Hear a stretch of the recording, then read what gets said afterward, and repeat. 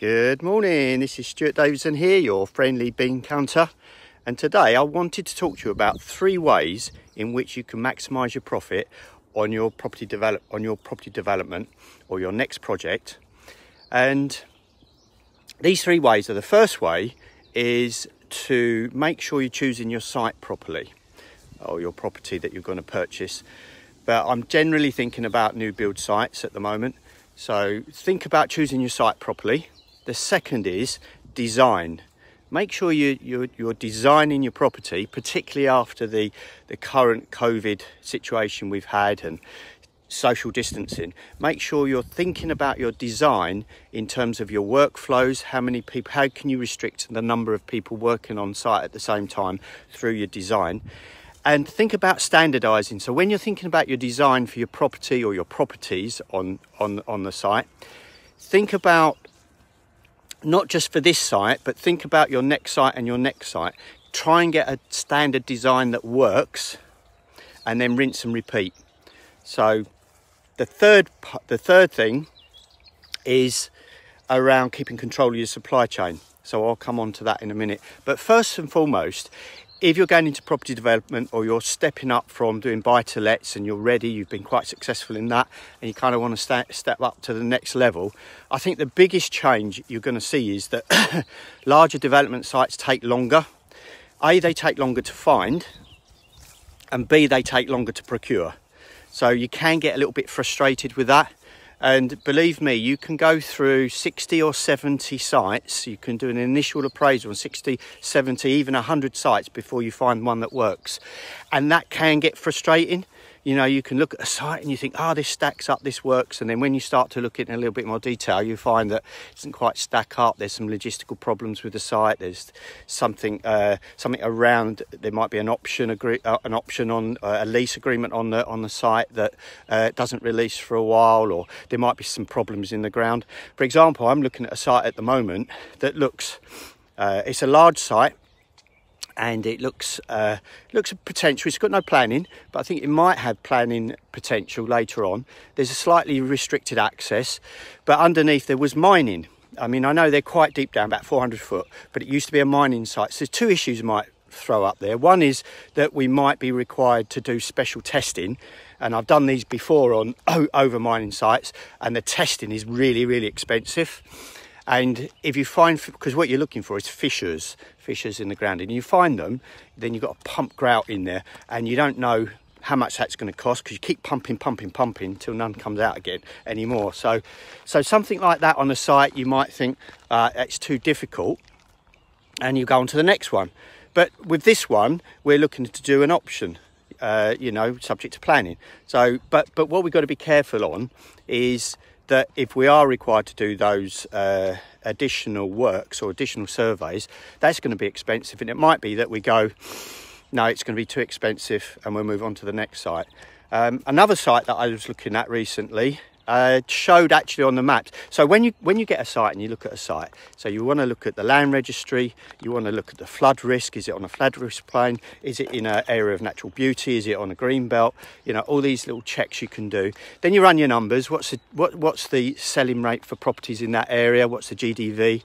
Then you're always going to put 25% profit, deduct that out, work out what your build costs are and all your on costs with your with your CIL payments, interest payments, uh, professional fees, all of those. If that if that does and, and the cost of the land and, the, and, and that will leave you a residual value for the cost of the land. And you'll probably find in 75 80% of the cases that when you do your residual value calculation your residual value will come out to less than what they're asking for for the land.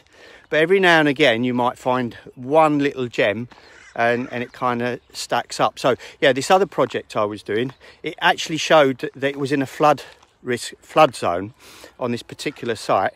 And um, but I thought it was kind of on the borderline. So I got I did I, I, got somebody to do some more research on that. And what we found was the flood the flood risk map was actually wrong.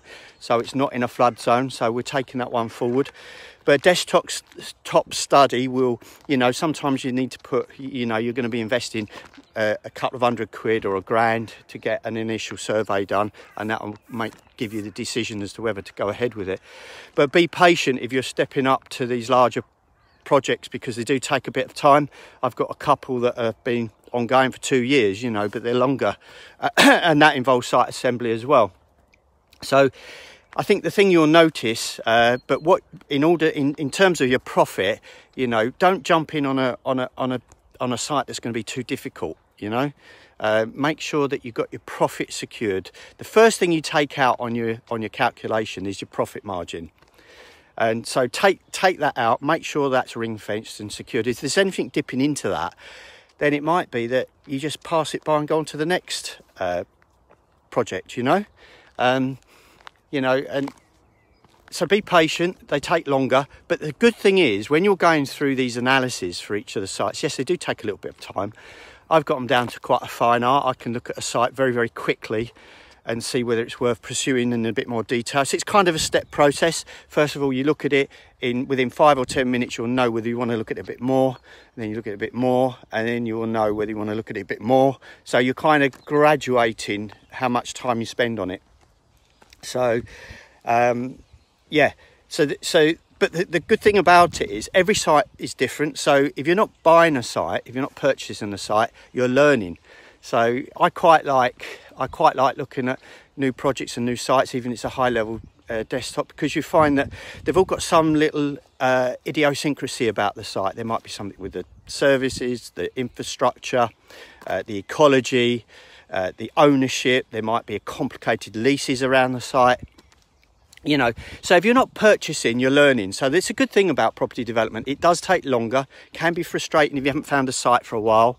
Uh, but but it's a great learning curve, you know, if you're if you're looking into these sites. So in order to preserve your the first thing around maximising your profit on a on a development site is don't jump in too quick, don't be too hasty, don't offer too much for the land. Make sure you're doing your homework. You will go through 70 or 80 prop, uh, sites before you find one that works for you or builds up. So be patient. But the on the on the flip side of that, you, you know, it, you will be learning on each one. But to maximize your profit, you know, make sure you purchase in wisely. So that's the first thing. Purchase wisely. Don't overpay for the site. Don't underestimate the costs it's going to be to develop that site. Don't underestimate the construction costs, which I see done, done all the all the time. I would say 80% of property investors and developers over underestimate the cost of the build, and particularly the infrastructure costs. So be careful about that. So maximising your site, the first stage is doing the appraisal and making sure you're not jumping in and uh, you're, you, that, that's, the, that's probably the key area to maximise your profit is getting that initial appraisal, appraisal right and, and choosing the right site. So that's the, first, that's the first thing.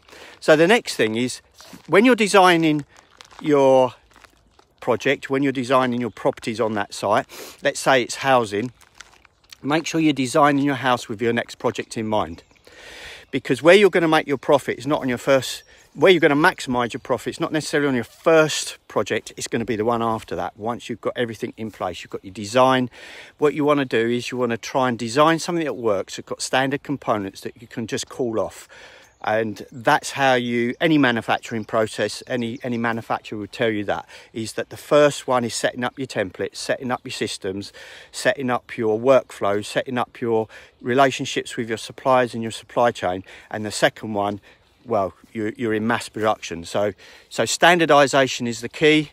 Um, you know your architect might not be over thrilled with, with standardization, but you need an architect that is going to be very interested in processes, systems, making sure that you've got components comply with building regs, but can be installed in such a way.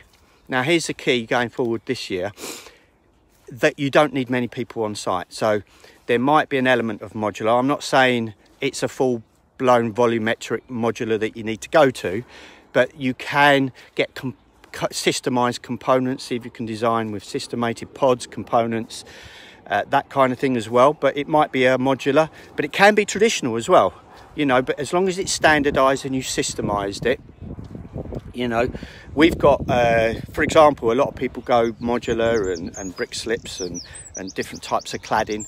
Uh, we've got a, a, system where we can do traditional brickwork very, very quickly, you know, but it's systemized and the way that it work, the work it's systemized. Um, what you don't want to end up, because I know if you're if you're kind of stepping up from your your your kind of you, you know, refurbishing buy to lets and that kind of thing, uh, you know, you might have a small building team and you're managing that yourself, and you find that, you know, your builder be going to and fro to Wilko's or B and Q's or what have you. Now that's very very inefficient. You know, that's just an example. It doesn't happen all the time. Some people are very organised, but it happens a lot. But that is 50% of, and, and 50% of, of the time spent on the job, you know? So when you're on a larger project, you couldn't allow that to happen. So you have to be a lot more organised, a lot more structured. And what I'm finding is that, uh, you know, where you're, you might be used to managing your own projects, when you're on a larger project, a larger development, and you've got several developments you want to do, you, you've then got to delegate to a team to do that for you, you know, because you can't be in two places at once.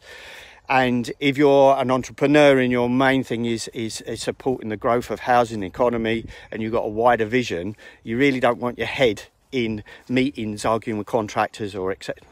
Well, that we hope we don't have arguments with contractors, but tradition, not in the way that we like to procure uh, uh, projects these days, but uh, but you can get into arguments with contractors and over different things, and you don't want that headache, to be honest.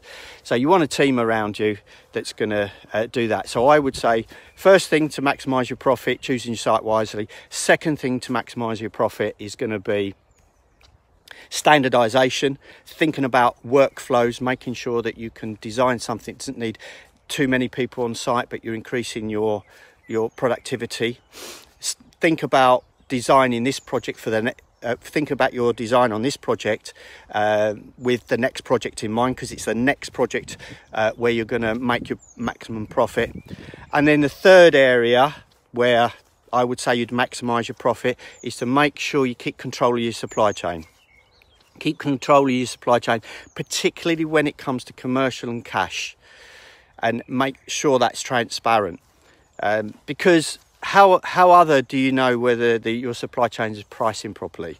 You know, how do you know whether money's leaking out of your project? How do you know that you're paying the right price for stuff? You know, so from the raw materials right the way through to your tier three, tier two, tier one.